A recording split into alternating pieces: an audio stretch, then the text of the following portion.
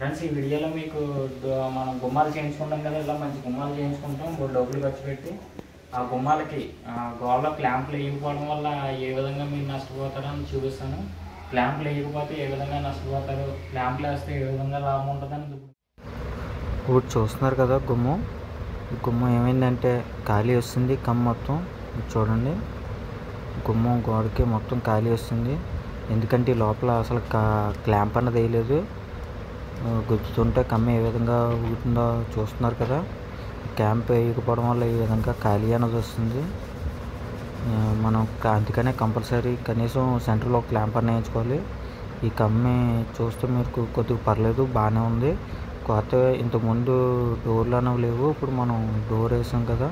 ఇంకా బరువు ఎక్కువ ఉంటుంది. దానివల్ల కంపల్సరీ ఈ కమ్ములను వంగడం జరుగుతుంది. మీరు ఇప్పుడు చూస్తే ఈ కమ్మికి కింద టైల్స్లో ఉంది అందువల్ల బలంగా ఉంది. పైన గోడలో ఉండడం వల్ల చిమ్ము ఉంటుంది కదా. అందువల్ల పైన కింద స్టాండర్డ్గా ఉంది. ఈ మయ్యాన్ని ఏమైందంటే కమ్ము వంగిపోయి ఖాళీ అనేది వచ్చింది ఇటువైపు చూస్తే ఇది పర్లేదు. మనం డోర్ బిగించిన వైపు బాగానే ఉంది కొద్దిగా. చూసారు కదా కొద్ది గోడలోకి ఉంది. అది చూస్తే ఇలా బయటికి వంగిపోయి ఖాళీ అనేది వస్తుంది. ఈ పక్కమ్మి మనం కొత్తగా డోర్ బిగించాం. ఇప్పుడు దీనికి ఏం చేస్తున్నాం అంటే మనం ఈ విధంగా కర్ర అన్నది టైట్గా పెట్టి క్లాంప్ అన్నది వేయడం జరుగుతుంది. ఇలా క్లాంప్ వేయడం వల్ల ఏంటంటే ఆ కమ్ములన్నీ పోకుండా బలంగా ఉంటుంది. ఇప్పుడు ఈ కమ్మి ఇటువైపు ఈ కమ్మి ఇటువైపు లోపల నొక్కుతాయి ఇలా కర్ర దిగ్గొట్టడం వల్ల. అప్పుడు మనం కొ- ఎల క్లాంప్ అన్నది కొద్దిగా ఖాళీ పెట్టుకొని బిగించుకొని మేకేసుకుంటే ఆ కమ్మ అన్నది అలా పట్టుకొని ఉంటుంది. అలా పట్టుకొని ఉంటుంది. చూసారు కదా కర్ర తీసాక అలా ఉండిపోయింది కరెక్ట్గానే. ఇప్పుడు కమ్మ అన్నది ఒకదు బలంగా ఉంటుంది. మనకు డోర్ ఉంది కాబట్టి కంపల్సరీ ఈ విధంగా చేసుకోవడం వల్ల కమ్మ అన్నది మన ఫ్యూచర్లో ప్రాబ్లం రాకుండా ఉంటుంది. చూసారు కదా ఈ లోపల అసలు క్లాంప్ అనేది లేదు. గుమ్మానికి కనీసం సెంటర్లో కనీసం ఒక క్లాంప్ అన్న వేయించుకోవాలి. మామూలుగా అయితే రెండు క్లాంపులు వేయించుకుంటే ఇంకా బలంగా ఉంటుంది. ఇక్కడ చూసారు కదా ఇప్పుడు అటు ఇటు నొక్కింది. నొక్కడం వల్ల మనకి కొద్దిగా ఫ్రీగా ఉంటుంది. డోర్ కూడా డోర్లు కూడా ప్రాబ్లం అనేది రాకుండా ఉంటుంది. చూసారు కదా కమ్మని రోగలేదు. మీకు ఇందాక చూపించిన గుమ్మ ఇది. ఈ గుమ్మానికి కూడా లోపల క్లాంప్ వేసాను. ఇందాక వేలు దూరి అంత ఖాళీ ఉండేది కదా ఇప్పుడు ఖాళీ అన్నది కొద్ది తగ్గింది. నేను ఇంకా ట్రై చేసాను కానీ కమ్మన్నది అటువైపు జరగలేదు. ఈ గోడవారిని కూడా ఖాళీ ఉండేది కదా ఖాళీ లేకుండా ఉంది. ఇక్కడ ఒక ల్యాంప్ ఇక్కడ ఒక ల్యాంప్ వేయడం జరిగింది మనం.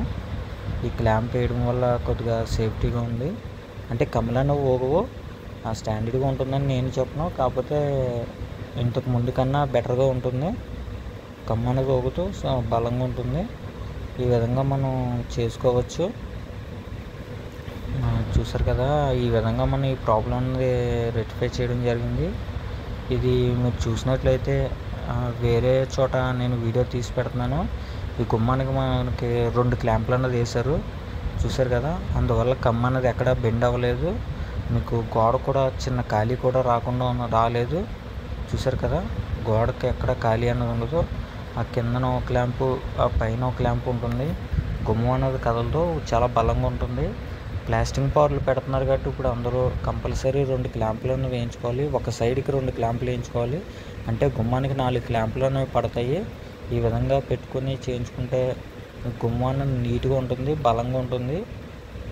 మీరు క్లాంపులకి డబ్బులు అయిపోతున్నాయని ఆలోచించి క్లాంపులు ఎట్టించుకోవడం మనైతే నేను ఇంతకుముందు చూపించినట్లు మీరు చాలా బాధపడాల్సి ఉంటుంది.